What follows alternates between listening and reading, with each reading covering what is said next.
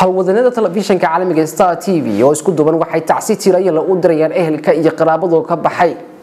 Saxafi sidoo kale qoraa maxamed baashi xaaji xasan oo maanta ku geeriyooday caraga ingiriiska.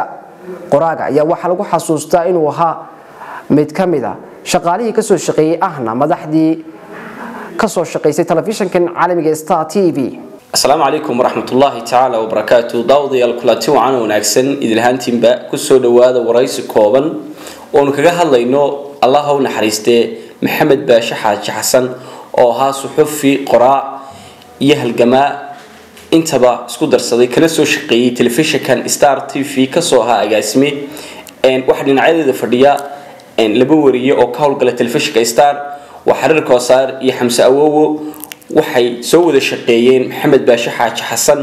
Waxaan labadooduba weydiin doonaa maxamed baashe iyo intii ay ka yaqaaneen iyo qofkuu ahaa maxamed baashe ku soo dhawow xariir koosaar madaxa wararka telefishinka star. Maxamed baashe waad ku soo gaadhay isagoo agaasimaha telefishinka star. In intee leg baad ka taqaanay shaksiyadda maxamed baashe horta geerida waaynu ku wada xukumanahay naf kastaana xilligeeda ayay go'aysaa.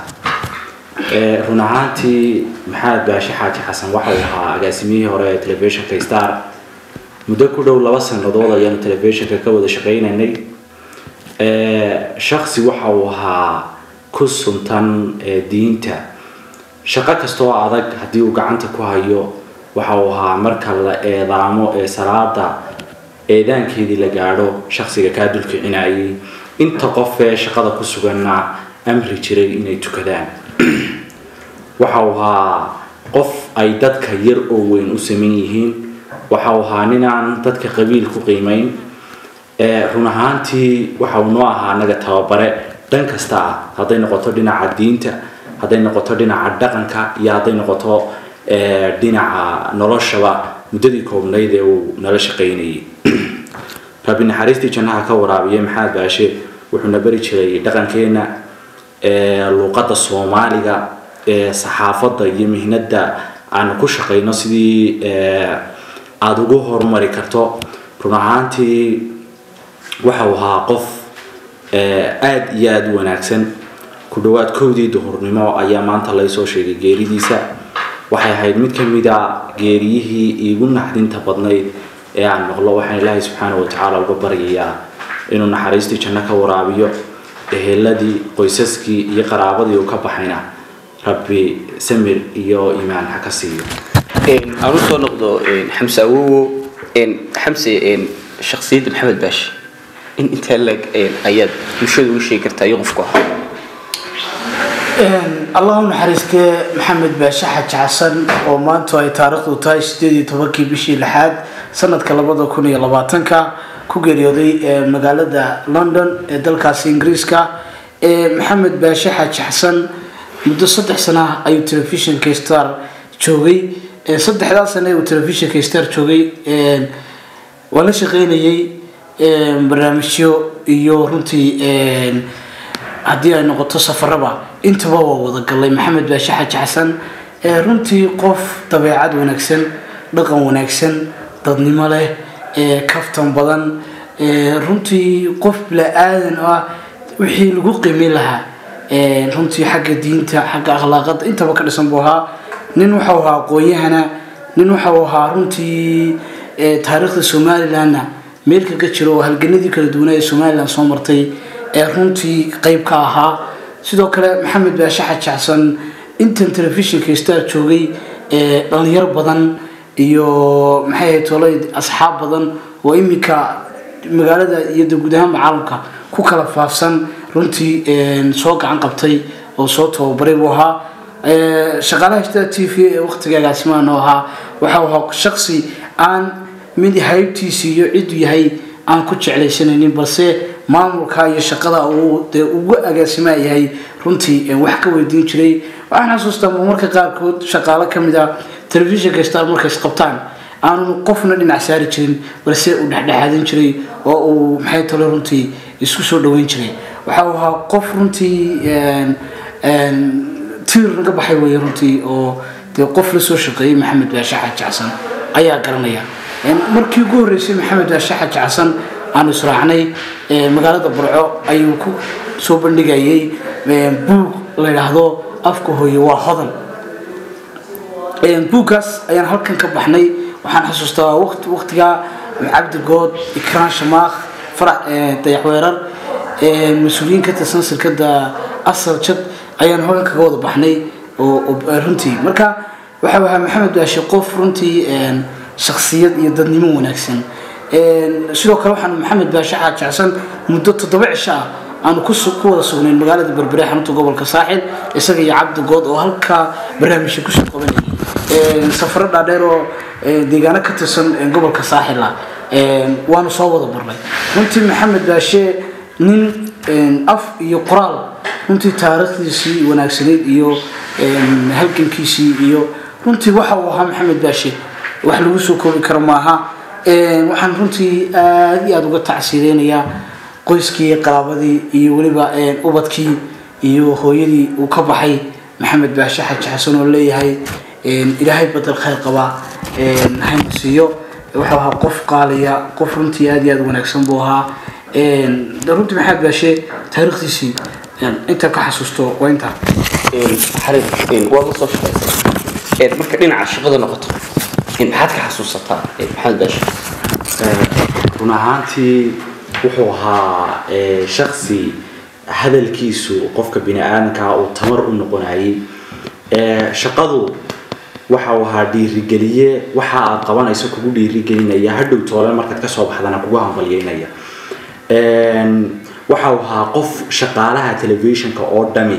Ay jeclaayeen oo markuu kadinkaa ka soo galo aan qofna ka leexan jirin qof kasta halkiisa ku salaami jiray shaqadiisa iyo sida uu u wado weydiin jiray ku dhiirigelin jiray. Run ahaantii waxau ahaa macalin wixii kaa qaldama ku bara oo tababarana dhinac nooga ahaa dhinacna maamul nooga ahaa. Dhinaca shaqada haddii la eegayo wuxuu ka mid ahaa ilaahay mahadee ka gaadhee dadkii aniga sida gaarka iisoo gacan qabtay inaan halkan soo gaadho kowka ahaa ilaahay subxaana watacaala waxaan uga baryayaa inuu jannadiisii firdowsa ka waraabiyo. Shaksi fiican buu ahaa dhaqan wanaagsan dhinaca diintana ka dhisnaa. Ilaahay waxaanu weydiinaynaa inuu jannadii ka waraabiyo. Adiga laftigaaga waad la soo shaqaysay oo shaqayn baad soo dhex martay. Dhinaca shaqada qof necee ayuu ku ahaa. Maxamed baashe xaji xasan alla naxariistii jannaha ka waraabiye ilaahayna ha ka dhigo kuwa nebiga maxamed naxariis nabadgeli korkiisa haatee la rafiiqa. Runtii maxamed baashe waxau ahaa madaale waqtiga shaqadan ku wada jirno qof madaala buu ahaa barnaamijyada iyo wararka iyo weliba xagga soomaaliga qoraalkiisa iyo weliba erey bixintiisa. Marka war la sameynayo hir loo sameynayo amba ciwaan. Runtii ka khaldan uu qaban jiray isagoo nala jira kaagu khaldan yahay laakiin dhinac kale ugu dhigi jiray qofka si aan jabin u dhiirigeliyo malaa kaasaa inoogu qurux badnaan lahaa. Dabeedna kaas lagu qori jiray.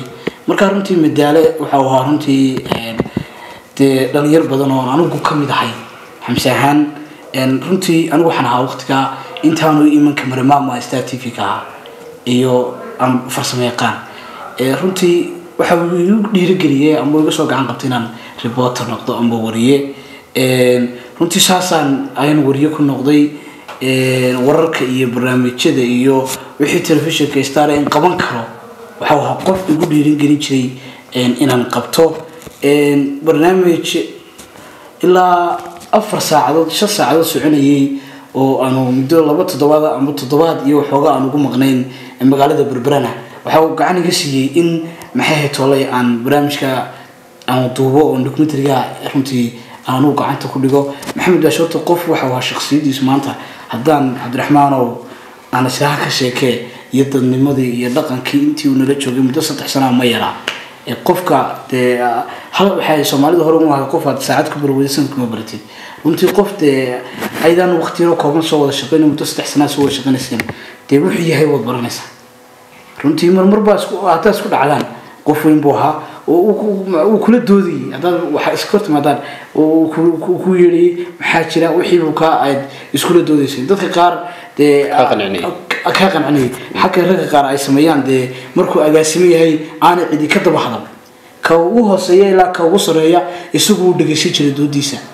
Marka runtii maxamed baashe qof dadku u sinaayeen. Ah, qof dadku sinaayeen oo shakhsiyad wanaagsan oo runtii madaalaha ayuu ahaa mar labaad iyo mar saddexaadba waxaan alla uga baryaa inuu naxariistii janno ka waraabiyo qaranka somalilan iyo oo ehelkiisii iyo qaraabadiisii u ka baxayna. Runtii samir iyo iimaan ka siiyo. Ka telefishan ahaan si gaara dhammaan shaqaalaha telefishinka star hadday noqoto mas'uuliyiinta sida mulkiilaha telefishinka iyo dhammaan eh, wariyaasha ka howlgalay iyo qoysasku kuwa intaba halkan waan ka tacsideynaa runtii kstar t v ahaan ehelkii qaraabadii iyo qaranka somalilan uu ka baxay si gaarana maadaama ka mid ahaa shaqaalihii weliba agaasimeeshii ugu wanaagsanaa ee soo telefishinka starna runtii tacsi gaara ayaynu direynaa maxamed baashi xaashi xasan ilaahay ha u naxariisto. Taariikhdiisa intan oo keliya kuma soo koobi karno waxuu ahaa qoraa qoray buugag badan oo ay ka faa'iidaysteen bulsho weyn badan oo soomaaliyeed oo ka turjumaya hidaha iyo dhaqanka soomaalida isagoo dhinacyo kala duwan ka qoray ahaa suxufi ka soo shaqeeyey warbaahin kala duwan oo soomaalida ah oo kana soo qabtay waxyaabo badan amba ku soo biiriyey wax fara badan oo ay ka faa'iideen bahda saxaafadda ee soomaalida. Ma soo koobi karno taariikhda maxamed baashe xaaji xasan. Waxa uu ahaa agaasimihii telefishinka star.